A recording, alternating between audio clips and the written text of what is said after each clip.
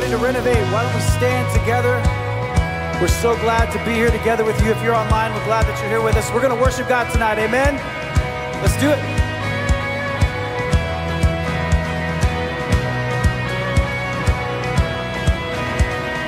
Will you bring God praise? Will you bring revival? We lift our hands, you lift our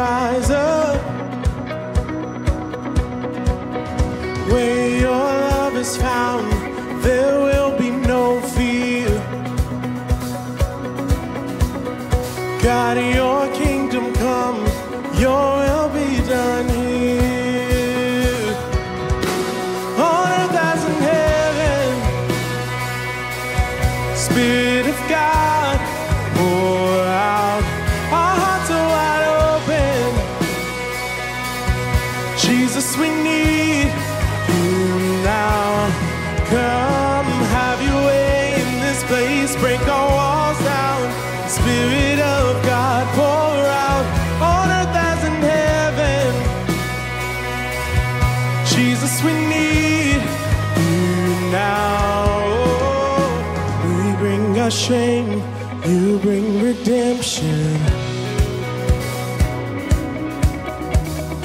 You turn our chains into our freedom. Yeah, yeah, yeah. where your love is found, there will be no fear. God, your kingdom come, your will.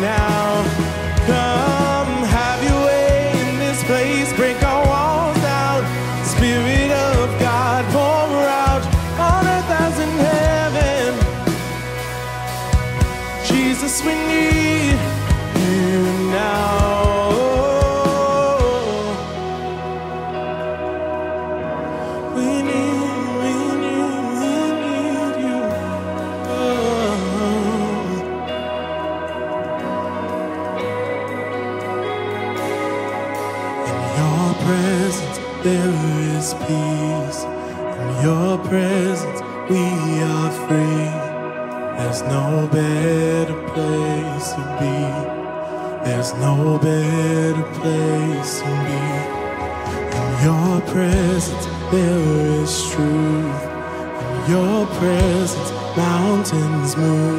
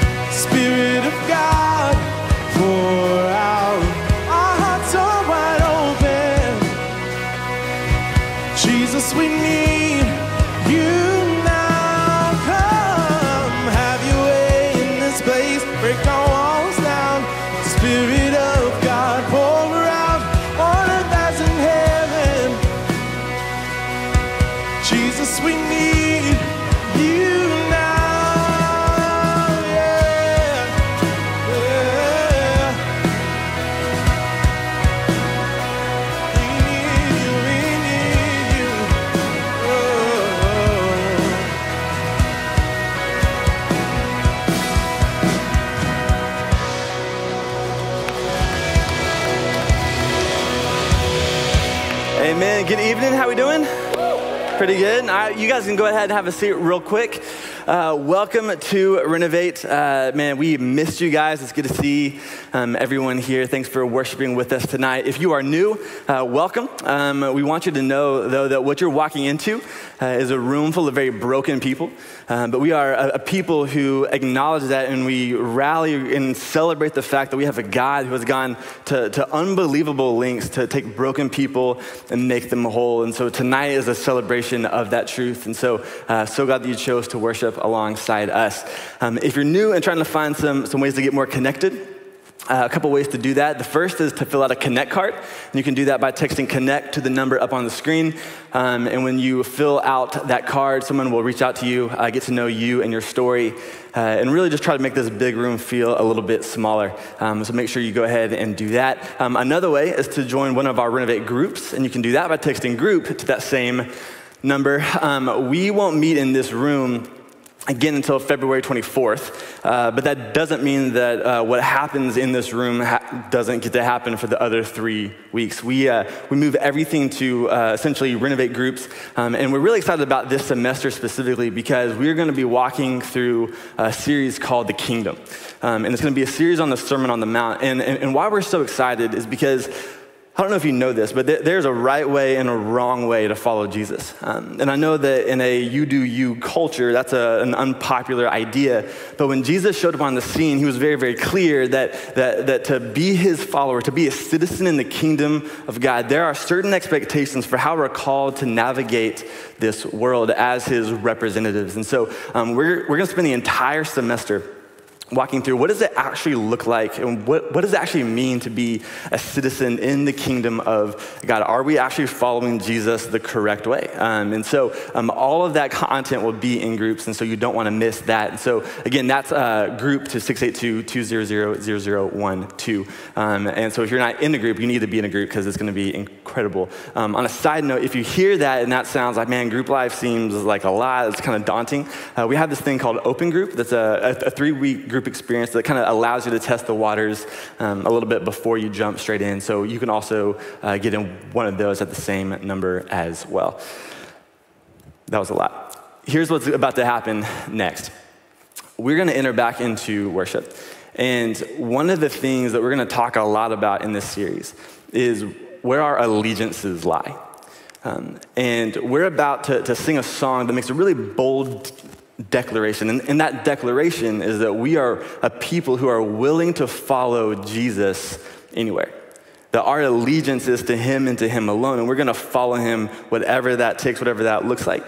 And I don't know about you, but, but so often when I, I walk into rooms like this, I, I sing lyrics because they're up on a screen and not necessarily because I'm um, aware of what I'm singing or because I'm actively thinking about the words that I'm declaring. And so, uh, what I want to do tonight is I just want to orient our hearts for a moment as we go into worship and, and think about that idea that, that, that, when we sing, that when we bold, boldly declare that I'm, I'm going to follow Jesus uh, anywhere he asks me to go, anywhere that he leads me, that, that that's a truth that, that's actually true of our lives. And if it's not, that it's something that stops us in our tracks and makes us take a step back and say, all right, like what's, what's going on in my heart? Because we really do want to be people who, who boldly pledge our allegiance to this God and say, hey, wherever you call me to go, I'm willing to go. And so I'm going to pray and then we're going to sing. And so as we sing, let's, let's just be people that are introspective about that truth. Let me pray.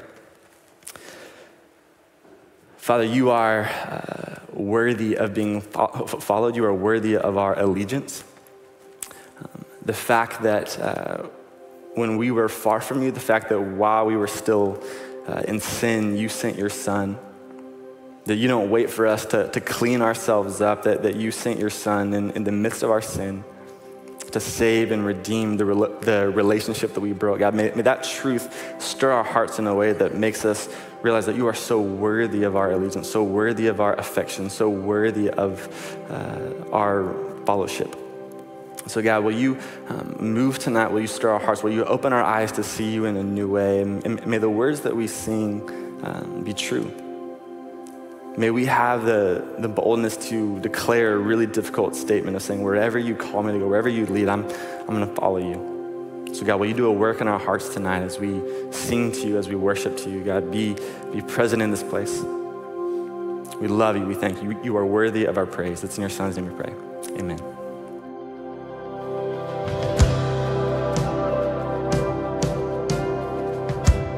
Let's stand together.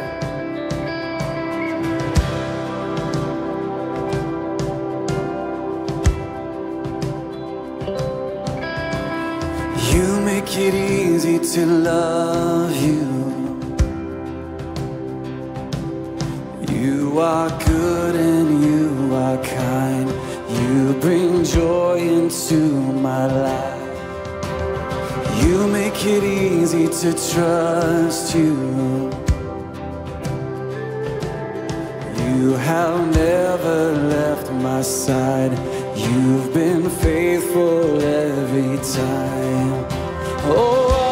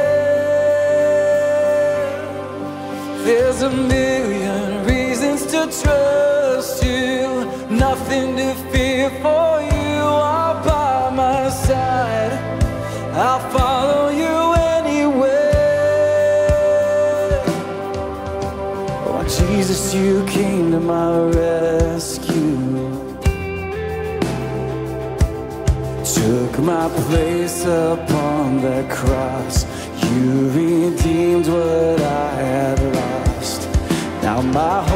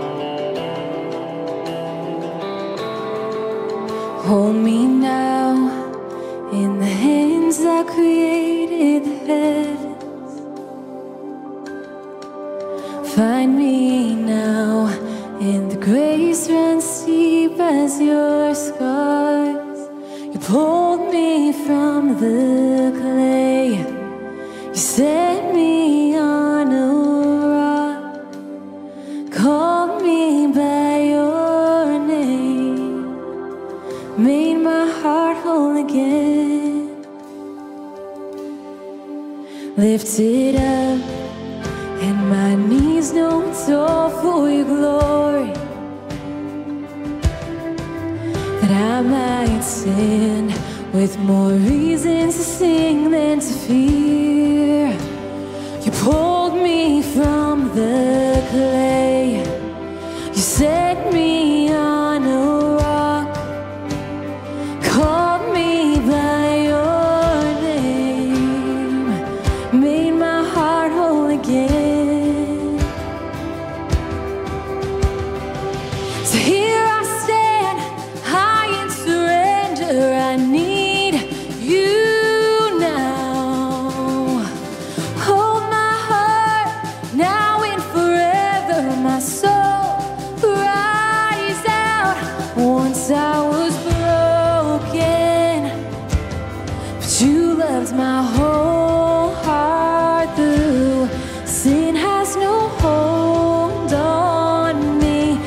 Your grace holds me now.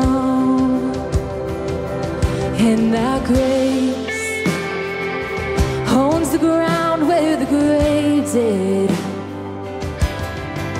All my shame remains left for dead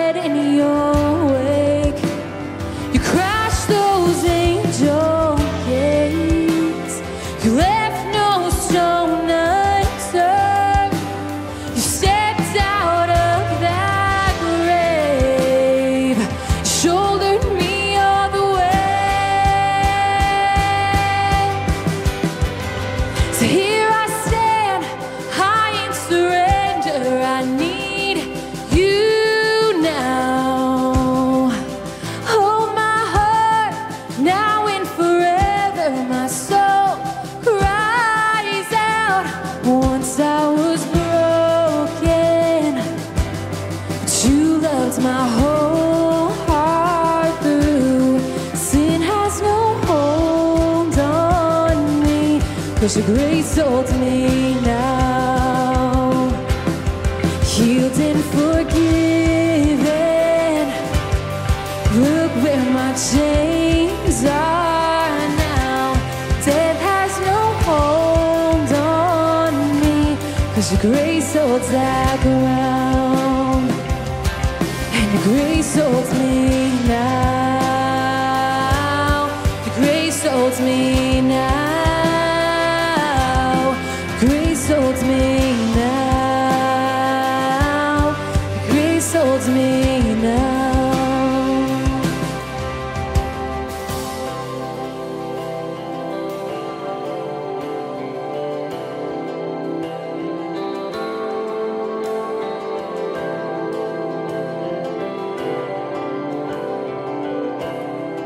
sing this together. So here I stand, high and surrendered. I need you now, Lord. So hold my heart now and forever. My soul cries out. Here I praise, Lord. Here I stand, high and surrendered. I So hold my heart now and forever. My soul cries out. Once I was broke. You loved my whole heart through. Sin has no hold on me, cause your grace holds me now.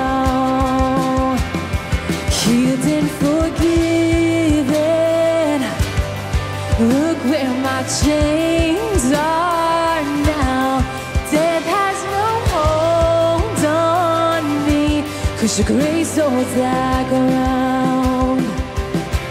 And your grace holds me now. Your grace holds me now. Your grace holds me now. Your grace holds me now. Healed and forgiven. Look where my chains are. Death has no hold on me. Cause your grace holds that ground. And your grace holds me now. Grace holds me now. Jesus, we praise you. We thank you for that grace that allows us to stand in surrender, surrender in awe of you, Lord. Um, I praise you for your word and for your teachings. I pray um, that the same truth that you spoke over people 2,000 years ago will carry the same weight and the same truth today in this room um, so that our hearts can look more like you and our lives look more like you, Lord. Um, we love you so much. Just let me pray. Amen.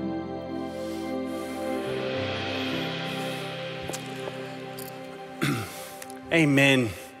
Amen. Uh, we love you, Renovate. We missed you. Um, man, I hope, uh, I hope that we sing this song about His grace and our chains being gone from us, and that we believe that. That's been our hope and our prayer for you guys, even through this break, uh, and for our own souls. Uh, hey, we are going to be in the book of Matthew tonight. Uh, the book of Matthew. So if you got your Bibles, uh, head there. We're also going to put the verses up on the screen if that's easier for you. Uh, when I was a young lad, I traveled a ton. Uh, I got to travel a lot and, and would and would move around, and I spent I spent about a semester abroad. And when I came back to the states.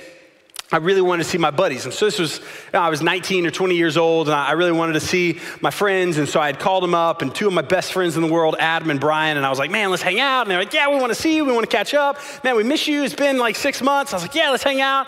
And they were like, ah, the problem is we got girlfriends, and like our girlfriends want to hang out with us, and I didn't have a girlfriend. So I was like, ah, okay, well, and they're like, no, no, we want to see you. It's been a while. We'll figure something out.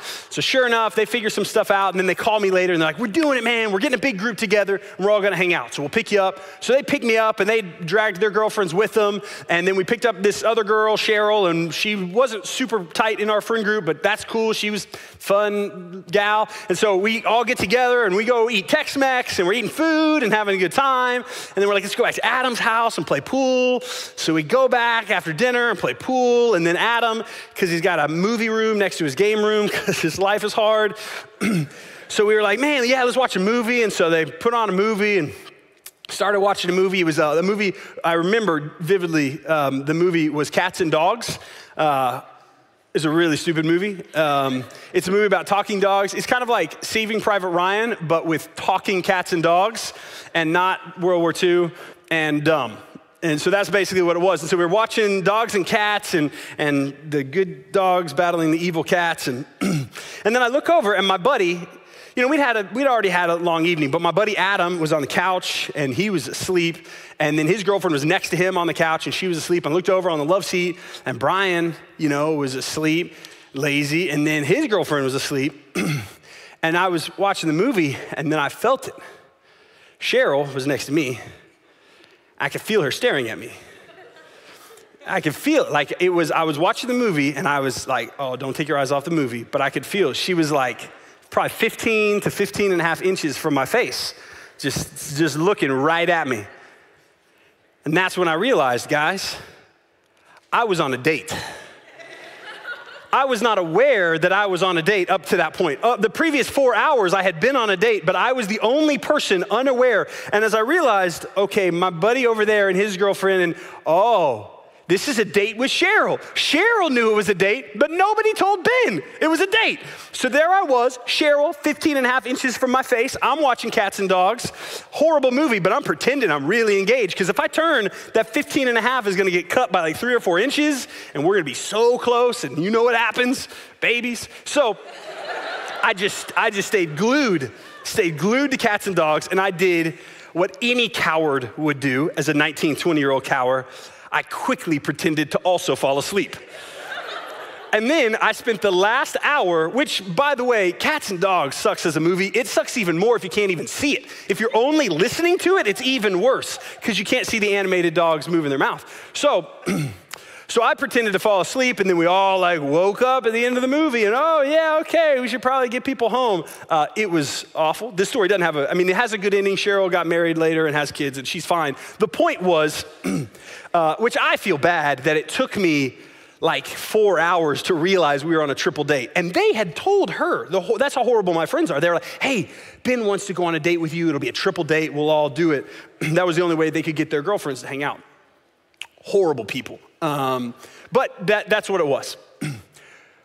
when, you, when you realize that, here's the sad thing I know that some version of that has happened to people in this room, right? You hung out with somebody, and then about halfway through the night, hopefully not four hours, hopefully you're not as, as obtuse and dense as me, but hopefully at some point you realize, oh my goodness, it's a date, really poor leadership, bro, really lack of clarity here. Um, but when that happens, it is the most awkward horrifying thing, right, when that happens. And it's awful because you realize, really, I just thought I was having a good time with my friends who cared about me, but you realized everything up to that point was just a lie from hell, right? The Tex Mex, the pool game, it was all a lie, it was all a sham. And so it totally shades your perspective of what you see. Now, what's about to happen, really, in this series of Sermon on the Mount, is this idea of Jesus Christ in the Sermon on the Mount is going to let us know what his game plan is he is going to sit down with his people and have a DTR and explain this is who I am and this is what I'm doing. He's going to unpack all of that. The Sermon on the Mount is three chapters in the book of Matthew. It's Matthew chapter 5, chapter 6, and chapter 7. And it's a sermon that Jesus preaches. And I don't think I'm allowed to have a favorite chapter or verses, but if I was, I think the Sermon on the Mount, those three chapters, 5, 6, and 7 in Matthew, are probably some of the most significant passages in our faith uh, as believers. And so that's why we're spending uh, this entire semester just in his sermon and unpacking the context of who he is and what he's having us do and what this whole thing is that he's signed up. And like Josh said in the intro, man, there is a right way to follow him and a wrong way to follow him. And he's giving that correction. And that's really where we're going. And so tonight, uh, tonight, I just want to, uh, I just want to set the hook on, on the context of his sermon. And so tonight, we'll spend most of our time in chapter four because next week in your Renovate groups, you will open up chapter five, verse 1 and dig into the, the first 12 verses uh, of the Sermon on the Mount. And so tonight, what's going to happen is I'm going to hopefully uh, shed some clarity and context uh, for the sermon he's about to preach, Jesus is about to preach. And then I'm going to look at the dangers if we are getting it wrong and looking at where that comes from and seeing in scripture, man, how we can get it wrong and how we can kind of be going along and totally unaware of what's actually happening and being dragged along and, and, and the dangers of that. And then I'm gonna get uh, real personal and get in your face on some stuff, and, and hopefully uh, God does what He wants to do with it. So, Matthew chapter 4, verses 12 uh, through 16.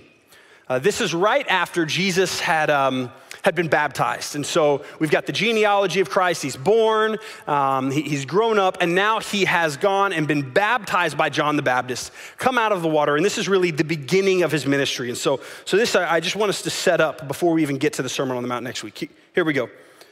Now, when he, meaning Jesus, when he heard that John had been arrested, he withdrew into Galilee, and leaving Nazareth, he went and lived in Capernaum by the sea, in the territory of Zebulun and Naphtali, so that what was spoken by the prophet Isaiah might be fulfilled. And then this is a part of the prophecy in Isaiah. The land of Zebulun and the land of Naphtali, the way of the sea, beyond the Jordan, Galilee of the Gentiles, the people dwelling in darkness have seen a great light. And for those dwelling in the region and shadow of death, on them a light had dawned. Here's what one thing I want to do real quick uh, for you, because I want you to see the context of how sweet this is. Because Matthew is referencing a prophecy being fulfilled in Isaiah chapter 9. And you don't have to flip there, but I'm going to read to you what is a couple of verses later that all of the Jewish people who would have understood where Jesus was starting his ministry, what he did, where he was, he went back to Galilee, and, and where he was in that area, they would have remembered the prophecy. Like they would have grown up reading this. They would have seen Jesus through the context of Isaiah 9. And, and Isaiah 9, Matthew quotes, but look what else it says that they would have been thinking about. In that same passage, this fulfillment of prophecy, verse, verses 6, it says this For to us a child is born, to us a son is given. And listen to, listen to this language. And the government shall be on his shoulders and his name shall be called Wonderful Counselor, Mighty God, Everlasting Father, Prince of Peace. Of the increase of his government and of peace, there will be no end on the throne of David and over his kingdom to establish it, to uphold it with justice and with righteousness from this time forth forevermore. The zeal of the Lord of hosts will do this.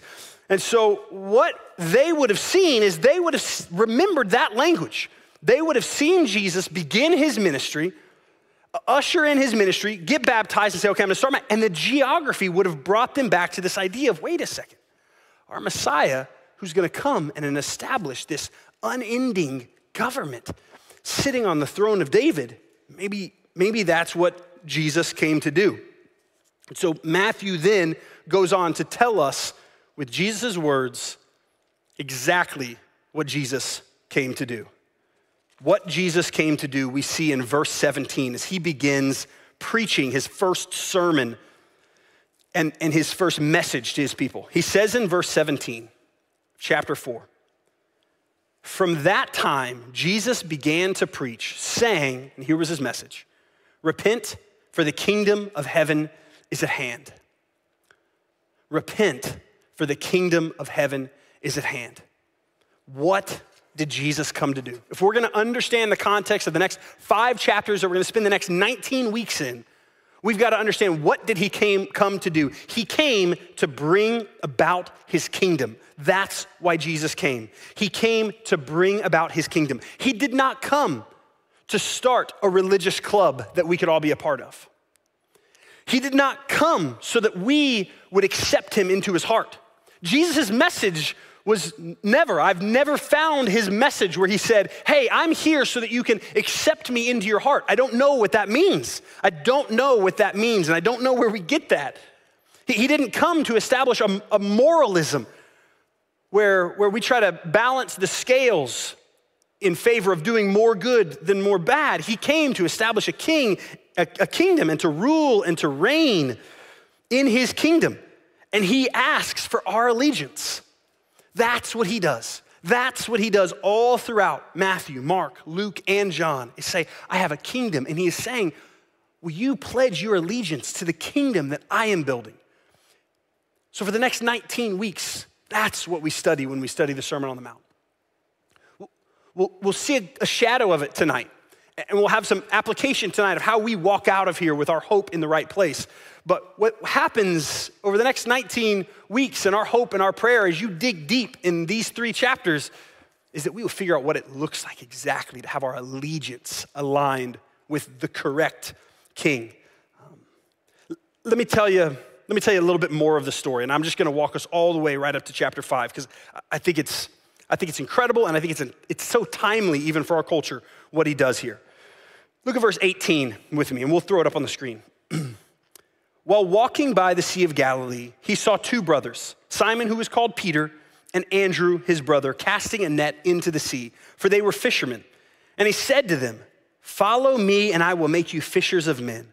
Immediately they left their nets and followed him. And going on from there, he saw two other brothers, James, the son of Zebedee, and John, his brother, in the boat with Zebedee, their father, mending their nets. And he called to them. Immediately they left the boat and their father and followed him. These men come across Jesus. Jesus tells them, Come and follow me. And they, like that, drop their nets and say, I'm gonna follow him. There was an immediate hope and faith that these men had to say, This is the one I'm gonna put my hope in. And they left behind their life and followed him. Look, look what continues to happen on a bigger scale. Verse 23 And he went throughout all Galilee, teaching in their synagogues and proclaiming the gospel of the kingdom and healing every disease and every affliction among the people. So his fame spread throughout all Syria. And they brought him all the sick, those afflicted with various diseases and pains, those oppressed by demons, those having seizures and paralytics, and healed them, and great crowds followed him from Galilee to the Decapolis, and from Jerusalem and Judea, and from beyond the Jordan. Jesus is gathering followers, right? He, he is gathering these followers, he is gathering uh, this, this movement, and all of these people who would have started to come and follow him, everybody following him, they would have had a reason for why they were following him right? They would have had a reason for, okay, I'm following this person because I'm sick and I need healing. I'm following this person because I'm so curious what they're gonna, I'm, and they all had a reason of why they were following uh, him and, and whether or not that reason was correct, whether or not it was aligned and their allegiance was in the right place uh, was yet to be determined um, and yet to be tested. And, and I, I want us just to read the very first two verses of the Sermon on the Mount. This is what happens in chapter five. He's gathered, he's gathered these disciples individually who just have this faith to jump out of the boats and follow. He's gathered these crowds and multitudes, and, and then he does this. Seeing the crowds, he went up on the mountain. And when he sat down, his disciples came to him, and he opened his mouth and taught them, saying, From here we have the Sermon on the Mount. He gathered the crowds. He declared, This is about my kingdom. Repent, for the kingdom of heaven is at hand. And then he began to teach them. What's happening on the Sermon on the Mount is Jesus Christ is giving his inaugural address. That's what's happening in the Sermon on the Mount. Uh, the inaugural address is something that is very common to us if we've been paying attention in the last uh, seven days. Right? A, a president gives an inaugural address um, and when they do, they get up and they say, Here's who I am, here's what I'm for, here's what I'm about, here's who we are as a people, here's what we believe in, here's where we're going. That's what the Sermon on the Mount is. It is our Savior, it is Jesus Christ giving his inaugural address to his people. Here's who he is, here's where he's going, here's who we are, here's how to follow. That's where he's going. but there's a danger in missing it. Right? There's a danger in missing it. Generation after generation misses it. There's a danger of missing where he's taking us and who he is on a daily basis in my life. I, am so quick to forget. There is a, a, danger theologically and culturally where we miss it. Let me show you one of the things that happened, uh, even just through Christ and his closest disciples. In Matthew 22, in Matthew 22, it says this in verse 15 it's a story of Pharisees trying to trap Jesus. It's going to kind of give us a glimpse of some, some misinterpretations of what Jesus was about. In verse 15, it says, Then the Pharisees, they went and plotted how to entangle him, Jesus, in his words. And they sent their disciples to him, along with the Herodians, saying, Teacher, we know that you are true and teach the way of God truthfully, and you do not care about anyone's opinion, for you are not swayed by appearances, so they're buttering up and they're being real sweet. Tell us then, uh, what you think it is it lawful to pay taxes to Caesar or not? But Jesus, aware of their malice, says, Why put me to the test, you hypocrites? Show me the coin for the taxes. And they brought him the denarius. So here's what's happening. They're like, we're gonna get him, we're gonna trick him. Uh, we don't like Jesus. They're the religious rulers. Jesus threatens the kingdom that they've been building in their religion right? In, in their religion, they'd been building this religious kingdom, and, and now here Jesus is preaching this, this alternative kingdom that, that they don't know how it fits yet and they don't understand. And so, like, we're gonna trap them. Let's ask them, hey, uh, should we pay taxes or not? And here's why that was a big deal. Um, a couple of generations before Jesus, uh, there was this massive revolt, right? There was this massive revolt of Jewish people who had said, We don't like Rome. And we're tired of being held captive by Rome. We're tired of being occupied by Rome. And so there was this big rebellion of people who were just upset and ticked. And they said, not only are we not paying taxes, we're going to go hold up in a fort and we're going to try to kick you guys out. And we're going to try to, we're going to try to overturn and kick Rome out of our land and get you out of here. And it was this huge thing, and it was this rebellion that was squashed and squashed violently. And so they know, right? A lot of Jewish people they did not like Rome. Rome was not popular. And so they're trying to pin Jesus. Okay, are you going to be anti Rome or are you going to be pro Rome? Because if you're anti Rome, there's going to be a lot of people who are really frustrated because they hate the Roman government and they want no Roman government. They want the Roman government out of their lives. And so if you say that you're pro and we should start giving our taxes, then that kind of feels like you're a traitor, Jesus. But if you say you're anti Rome, well, then, I mean, that's treason. Right, then Rome's gonna get ticked if they find this guy out there, and, and we can trap him either way, either by the Jewish people who will be upset that he's, that he's pro Roman government, or, or by the Romans who would think he's, he's trying to create a political rebellion. Jesus said to them, Whose likeness and inscription is this on, on the coin that they handed him? They said, Caesar's. Then he said to them, Therefore render to Caesar the things that are Caesar, and to God the things that are God. When they heard it, they marveled and they left and they went away. Mic drop for Jesus moment, right? Just mic drops them, tricks them. Ah, man, we thought we had him and we didn't. Because what's happening? Because Jesus is saying, I'm not here for this political kingdom that you are stuck on. The, the temporary blinders that you first century Jews are stuck on and first century Romans are stuck on. I have a much, much bigger picture. So, fine, Caesar's head is on the coin, then give it to Caesar, right? But what is God's, give it to God's. And what has God's image on it, that should pledge allegiance to God. And it's this great way that he, that he navigates that. Um, it's, it's beautiful, right? He, he's not political. He's not political. Um, and first century, uh, that would have been an incredibly uh, tight trap. But then look what happens, right? I get it. It makes sense that they would have thought that, right? Even when you think of Isaiah 9 and the prophecy, and wait, this guy's gonna set up this government and sit on the throne of David and all these things, it would make sense that that happens. Fast forward. Fast forward. Jesus is in the Garden of Gethsemane the night before he gets arrested. He's there with his disciples. He gets arrested. They show up to arrest him. Jesus, all knowing, knows it's gonna happen. And what happens? John chapter 18, 10 and 11. Here's what happens. As they're arresting Jesus, some of you might remember this story. Simon Peter having a sword, which, hold on, what are you doing with a sword, man? What? Anybody have a sword in here? What are you doing with a sword in the Garden of Gethsemane? So there's something clearly that, that Peter's prepared for something that Jesus isn't ushering in. Then Simon Peter, having a sword, drew it and struck the high priest's servant and cut off his right ear. The servant's name was Malchus, which that's a bummer of a name, let's be honest. That's a bummer of a name, and now he's only got one ear. He was already bullied for the name Malchus. Now he's gonna be bullied for having one eared Malchus. Regardless, this is what happens. Jesus says to Peter, Put your sword into its sheath. And he says, Shall I not drink the cup that the Father has given me? And he, and he ends up healing this servant's ear. So Jesus' closest disciple, right? Peter, Jesus' right hand man. At the, at the, after three years of following him, after three years of watching him preach the kingdom, still doesn't understand what's happening. He's got a sword with him when they go to the Garden of Gethsemane to pray. And as they arrest Jesus, Peter thinks, here we go.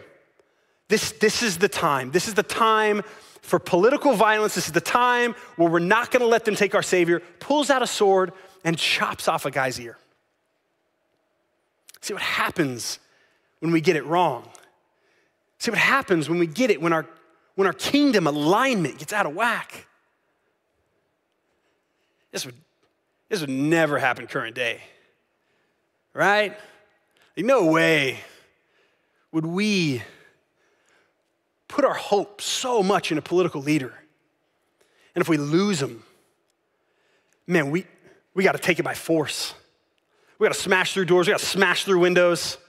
We got to take our Jesus flag and our American flag and our Confederate flag and whatever flags we got, our Buc-ee's flag, and we got to get in there because this is it.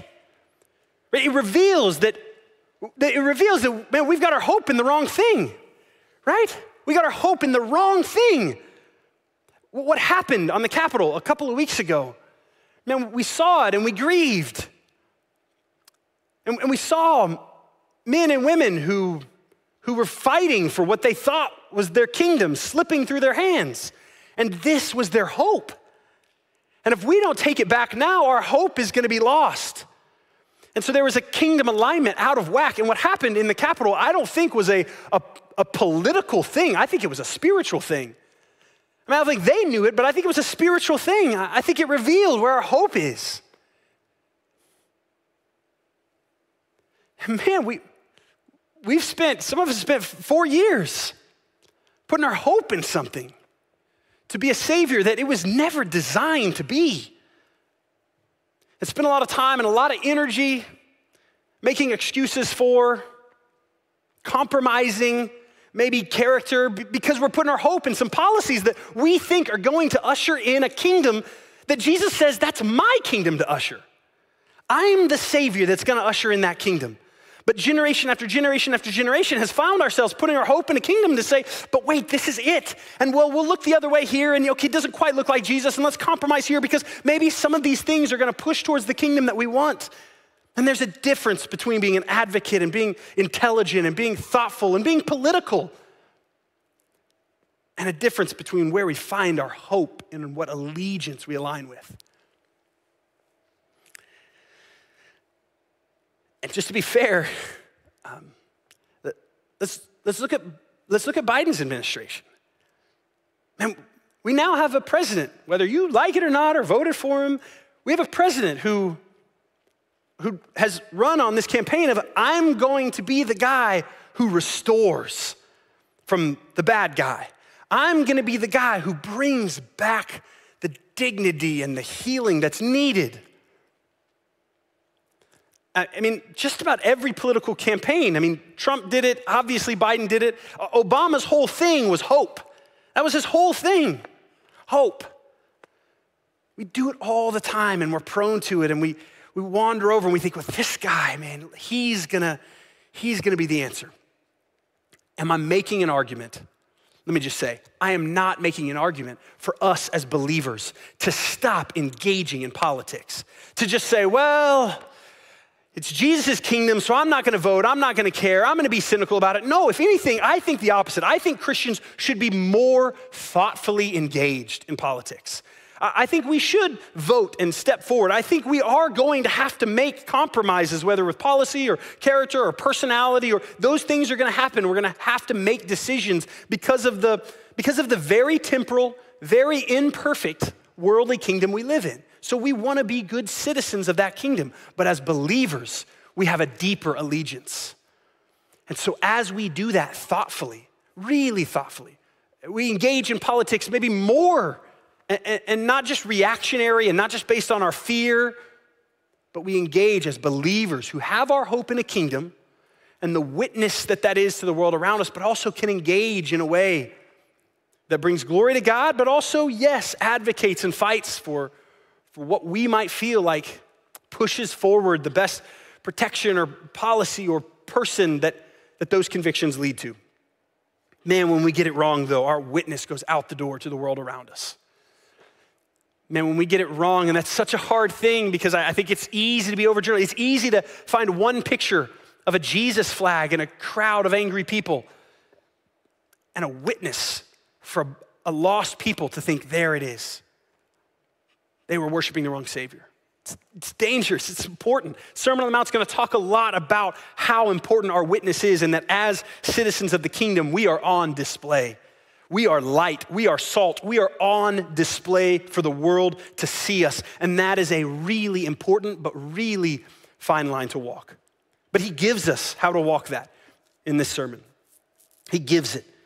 Um, I, I should say this too. I know people who are left who love Jesus politically. They're left and they love Jesus. And I know people who are right and far right and they love Jesus, but they also can point to where their hope is. And, and we're revealed, aren't we? We're revealed of where we've put our hope by how we react, how we respond, how we engage, and how we fight. Here's the deal you, if you are pledging allegiance to the wrong kingdom, you will be disappointed. Jesus gives us that promise. You will be left wanting. If you end up finding yourself pledging your allegiance, putting your hope in a false kingdom, you will be left uh, wanting. This is Christ's kingdom that he's bringing out. Don't miss it. That's what the Sermon on the Mount is. It is his address, his inaugural address to say, here we go. This is what it looks like. It's how to be a citizen, how to gain citizenship. For 19 weeks, we'll spend time on what it looks like to be a citizen, what it looks like to have a kingdom ethic that Christ had built, what it looks like to have the warnings of Jesus, of how you fall out of that, or how you get tricked and duped, and how you build your foundation correctly. That's what he does for the next three chapters. And it's what we're going to spend the next 19 weeks digging deep. God, help us be believers who engage in the world around us in thoughtful ways and don't put our head in the sand, but also that we find our hope in the right place, and that's you. It would be proper citizens of it. So um, I have a few questions I'm going to end on for you guys. Where is your hope?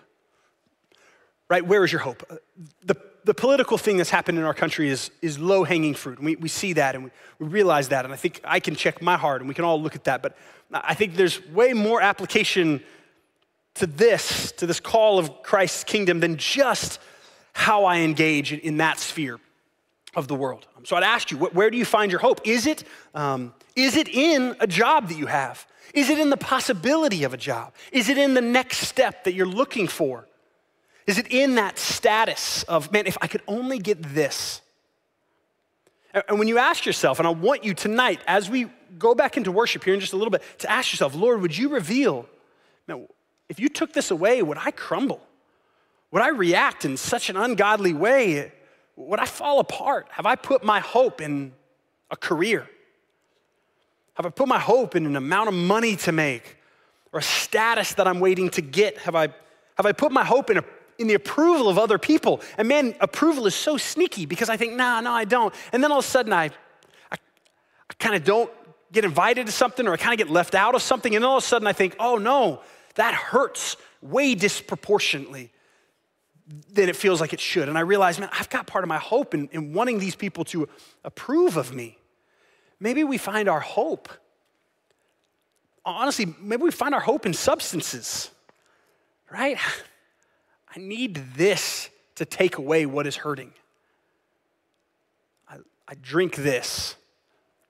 I look at this on my computer because I know there can be immediate gratification if I go down those roads of lust and maybe it's that, maybe it's pornography in your life that in some ways you have said, man, my hope is in that.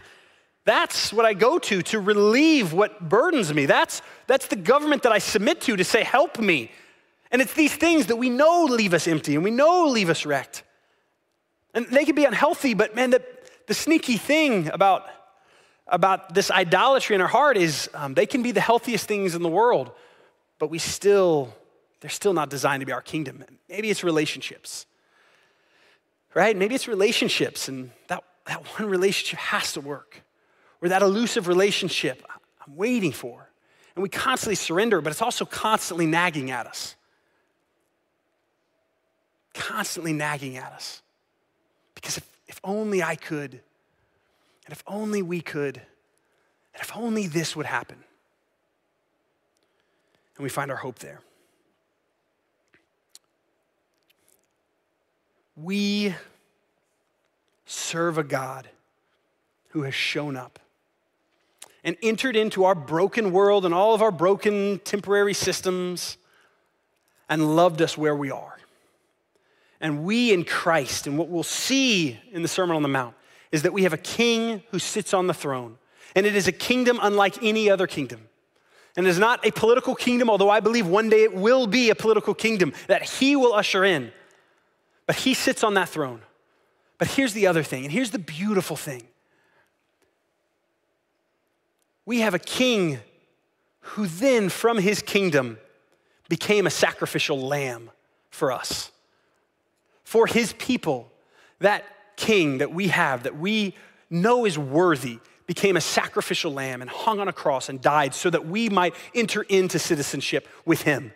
That's what we have right? For you. Not only is he worthy, if you hear anything I say, I hope that you hear what I'm about to say, and I hope it continues to ring in your ears all night, and I hope it continues to ring in your ears every day, constantly. We have a king who is worthy, and not just worthy, we have a king who is good. And we have a king who is good, and not just a king who is good, we have a king who is gracious. He became the Lamb of God so that we might be able to approach Him.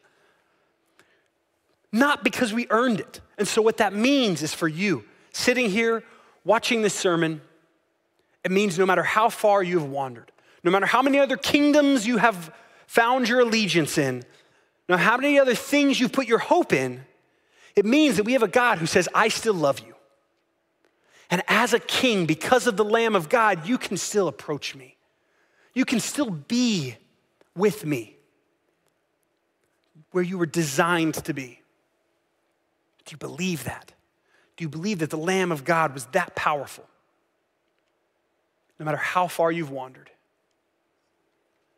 no matter what you've done, no matter what your past looks like, you have a king who is gracious and says, Come. That is the king we worship. Let me pray. Father, thank you. Thank you for how you have loved us, Father. You are worthy and you are good and, um, and you are you are reigning, God. You are in control. And God, if we're honest with ourselves tonight, Father, um, we know there's conviction in our heart. We know there's other things that we have certainly put our hope in, whether they are little or whether they are huge. Would you, in your kindness, be the kind of Father that reveals those to us? And then would we be able to acknowledge that, yes, you've purchased those? And would we run back to pledge our allegiance to you? You are our King. Would you do the work that only you can do in our hearts for your glory? In the name of Jesus, amen.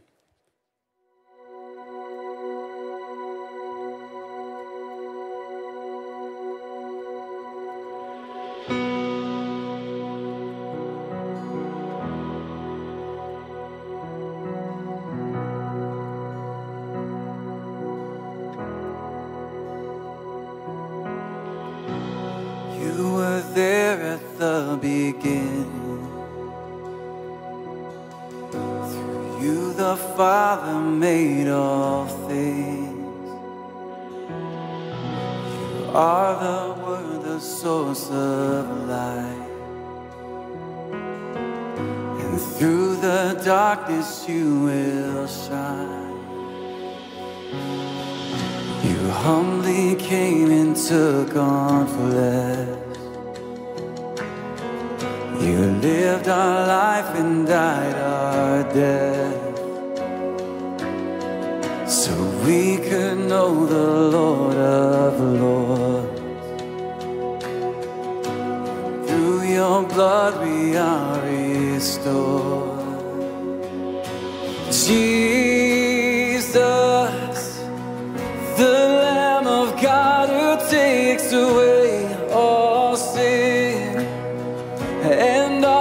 Life for those who trust in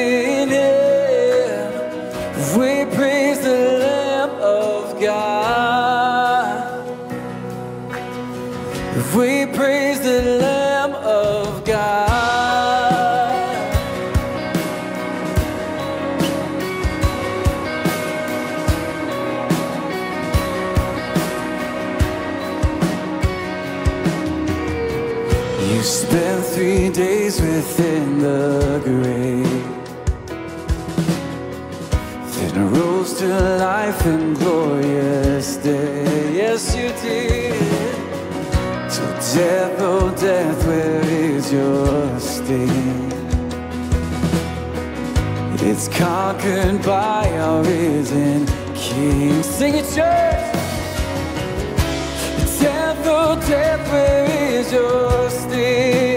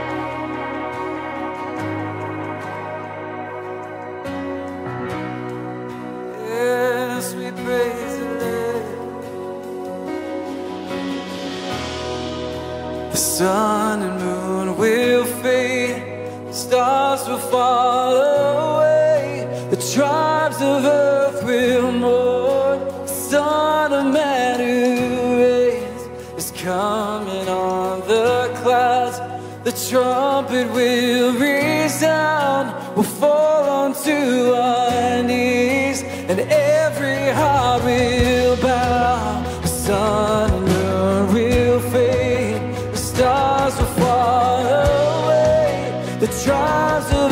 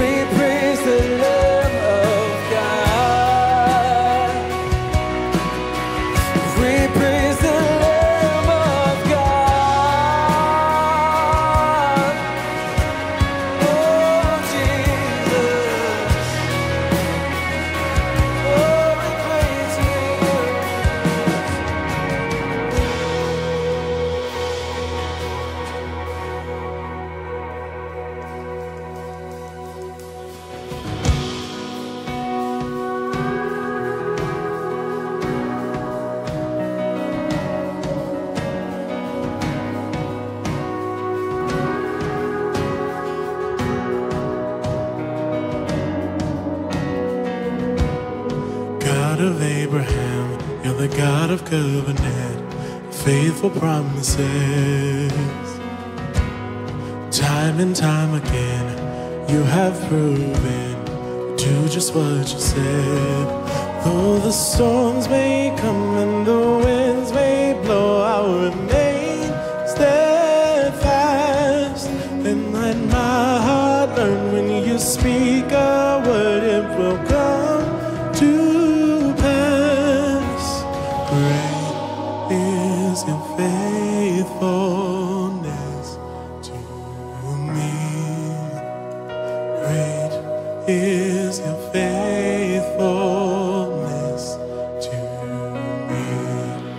From the rising sun to the setting sun, praise your name.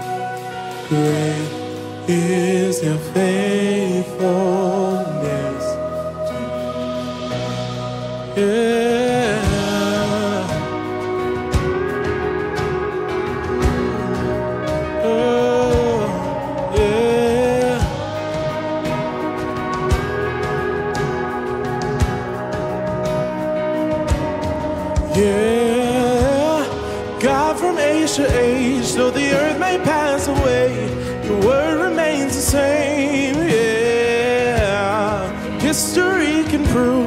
There's nothing you can do. You're faithful and true. Though the storms may come and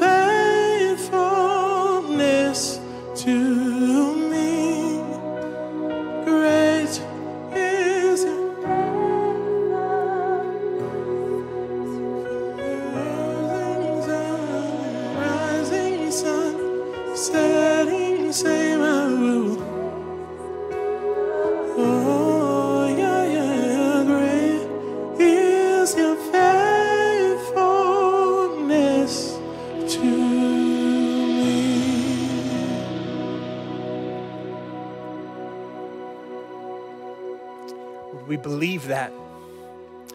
Would we believe that He is faithful? He's never let us down. He's never, He's never not kept any of His promises to us. Would tonight our faith increase? Not because of a not because of a song and not because of a sermon, not because of community, but would increase because of the power of the Holy Spirit. Because we have a spirit who lives in us. If we have aligned ourselves with his kingdom that says, Great is your name. You are worthy. You are worth it. Man, if you are like me, um, I've got a laundry list of business to do with the Lord of other places that I put my faith, that I know are gonna leave me dry, that I know aren't worth where I put my hope. And those allegiances get off, they, they get out of line. So, my challenge, our challenge for you is don't leave this room and, until you do business with God. Don't leave this room until you said, Lord, where have I just gotten out of alignment? Where are my allegiances? Where, where do I find myself putting my hope and my faith and for my security and my comfort? Is it you or is it these things that I know are gonna be dust one day? Whether you've been walking with the Lord for a long time and there's some areas that He wants to realign tonight, or whether you've been chasing after something, looking for something, and tonight for the first time He says, I have the kingdom that you have been looking for. We want to encourage you to pray. Go before the Lord boldly. Bring that to Him. We'll be down front. Uh, we'd love to pray with you. If you just want to stay in your seat and pray, that's fine too. Um, but know what you're doing and know who you're praying to. You're praying to a gracious God. A gracious God who takes old things and he makes them new. That's who you're praying to. A God who says, I have never stopped loving you. No matter how many times we have betrayed him and gotten off track, I have never stopped loving you. That's the God we approach tonight. So these guys will lead one more song. And then, um, and then when they end this song, they'll dismiss us. And if you would, leave quietly. When, when you need to leave, leave, but leave quietly um, and let this room be a place for people like me who have business to do with the Lord. And then they'll continue to play over us as long as we need tonight. Let's leave here changed for His glory. Let me pray.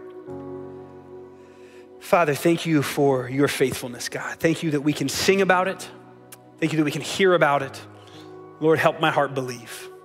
Help my heart believe. And thank you that you are a God who does take people who are, who are just sinful and broken, and you take us and you love us still. You have such immense grace for us, and you call us to something sweet, and you make something new out of what was old. We are grateful. We are yours.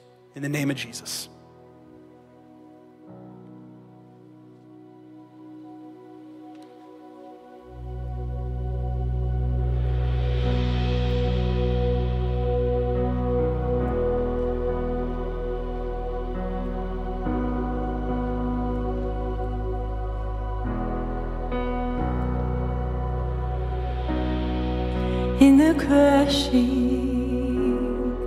In the pressing, you are making a new wine. In the soil I now surrender. You are breaking new ground. So I yield to you and to your careful. When I trust you, I don't need to understand. Make me your vessel. Make me an offering. Make me whatever you want me to be. I came here with nothing, but all you have given me. Jesus,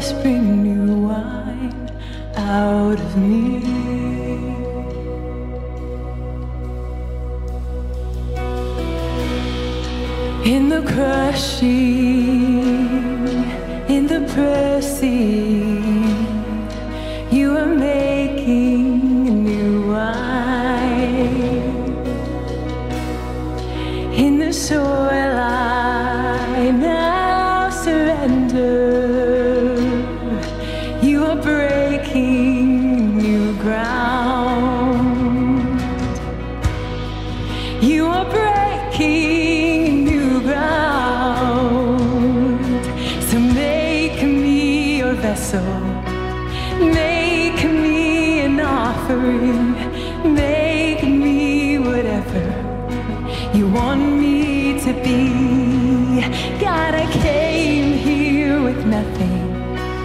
all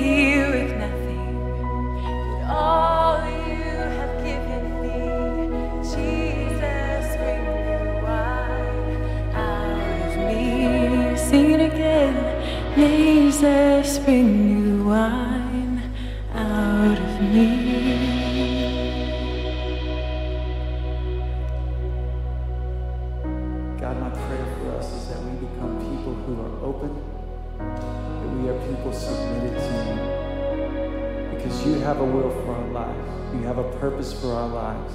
And God, so often we want to be the ones to control those, uh, the days, God, and the ways that we live.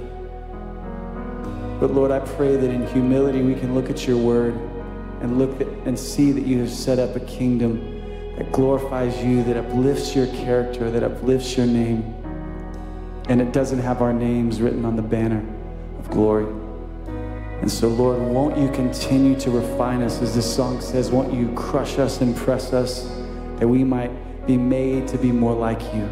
Not so that we can be pummeled and crushed, but so that we can be turned into a new wine, something that is pleasing to you, a fragrant offering to you, God, and an ointment to men, salt and light to the world. And so, God, we receive it even now. That what you want to do to us, Lord, though the days might be tough, though the seasons that we're in might be long and hard.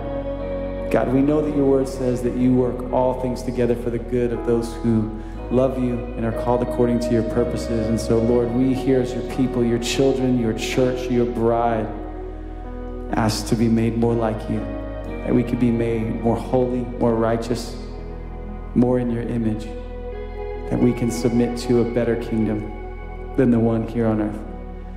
And so, Lord, won't you let that happen even here now as we pray before you and submit our hearts to you, God? Seek from you, to hear from you.